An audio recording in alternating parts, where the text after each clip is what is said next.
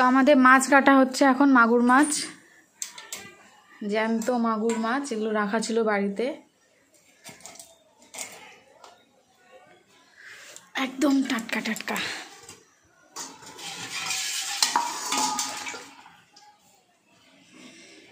এইগুলো হবে আজকে আলু দিয়ে একদম কষা কষা।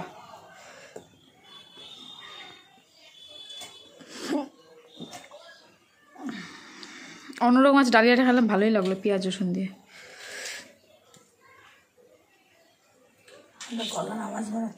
মার তো গলা দিয়ে আওয়াজ বেরোচ্ছে না মার তো গলা বসে গেছে তোমরা জানো। তাই মা কথা বলতে পারছে না। মানে আমরা বহু আমরা বহুত কষ্টে কথা বুঝতে পারছি তোমরা তারই বুঝতে পারবে না।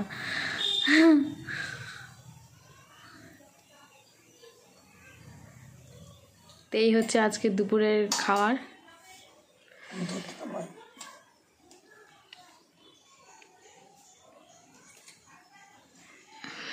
তো এখন আমাদের এই মাগুর মাছ মাখানো হবে মশলা টশলা দিয়ে।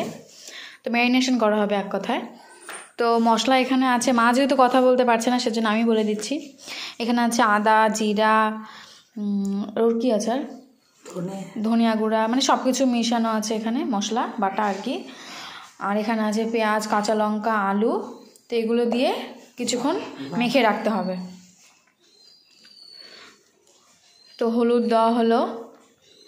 এটা করে রাখলে কি হয়? মাছটা একটু আরও বেশি টেস্ট হয়। যেরকম মাংস আমরা মেখে রাখি এরকম ব্যাপারটা। তো লবণ দেওয়া হচ্ছে। এবার সামান্য পরিমাণে রসুন বাটা। বাটা না ছ্যাঁচা আর কি। এবার সেই বাটা মশলাগুলো দিয়ে দেওয়া হচ্ছে। আদা জিরা ধনিয়া গুঁড়ো। লঙ্কা। এবার দেওয়া হচ্ছে কাঁচা সর্ষার তেল। এইভাবে অবশ্যই একবার হলো বাড়িতে ট্রাই করে দেখবে। আগে থেকে মেখে রাখবে, ভীষণ টেস্টি হয়।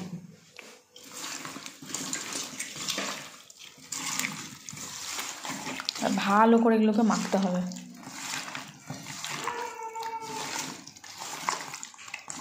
একদম মাংসের মতন। এবার দেওয়া হচ্ছে সেই টমেটো।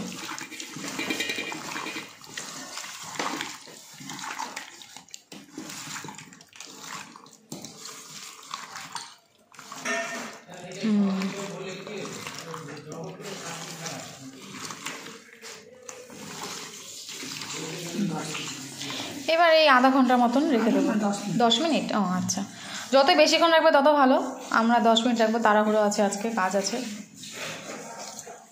বেশিক্ষণ রাখলে বেশি টেস্টি হবে। তো আমাদের এবার রান্নার পালা আমাদের দশ মিনিট হয়ে গেছে। আর কড়াইতে তেল দেওয়া হয়ে গেছে। তেলটা কিন্তু প্রচণ্ড পরিমাণে গরম করতে হবে নয়তো কিন্তু মাছটা লেগে যাবে। তো এবার ফোড়ন দেওয়া হচ্ছে। তো জিরে দেওয়া হলো ফোড়নে। আর দেখো গরম তেলটা একদম গরম। এবার সেই মেখে রাখা মাছগুলো দিয়ে দেওয়া হবে। আর দূরে চলে যাই।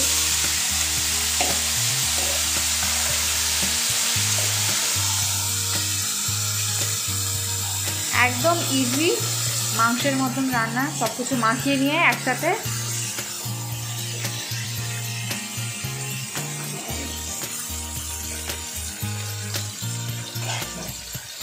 ইজি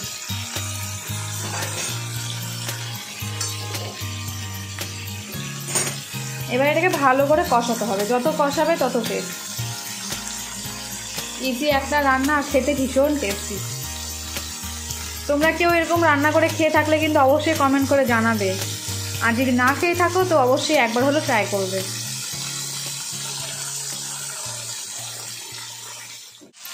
তো আমাদের কষানো হয়ে গেছে। মাছগুলোকে একদম কিন্তু আস্তে আস্তে রান্নাতে হবে না কিন্তু ভেঙে যাবে মাছগুলো। এটা মাথায় রাখে। এবার আমাদের এখানে পাশে জল গরম করে রাখা আছে গরম জল দিয়ে দেওয়া হবে।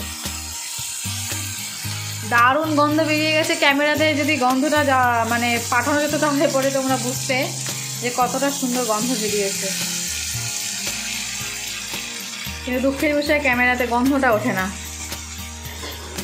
এবারে গরম জল দিয়ে দেওয়া হচ্ছে। একদম ইজি আর খেতেও ভীষণ টেস্টি আর এটা কিন্তু একদম কষা কষা হবে, বেশি ঝোল থাকবে না। মানে গা মাখা গা মাখা টাইপের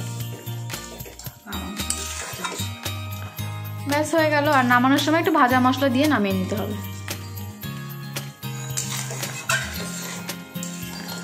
তাহলেই আমাদের মাছের ঝোল। আমি কিন্তু নিজেও শিখে গেলাম, আমি কিন্তু কোনোদিনও এই রান্নাটা দেখিনি।